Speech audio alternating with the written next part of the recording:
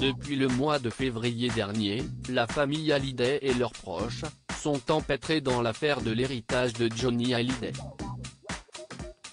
Laura Smith, issue de la relation du rocker avec Nathalie Baye et David Hallyday, ont pris la décision de contester le testament de leur père, soutenu par leurs mères respectives.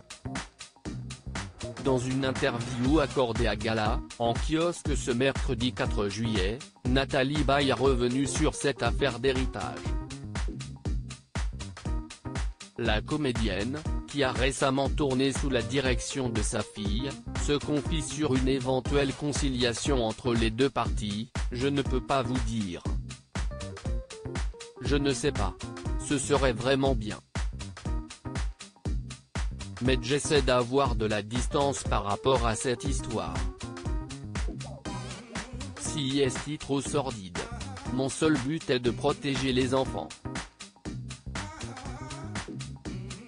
Dans cette même interview, Nathalie Baye confie être très fière de sa fille qui est très sensible, mais aussi très forte. Attaque Nathalie Baye aimerait une conciliation, mais cela ne l'a pas empêché de s'en prendre à Laetitia Hallyday dans un communiqué publié dans Le Figaro, « J'apporte toute ma force et mon amour à David et Laura.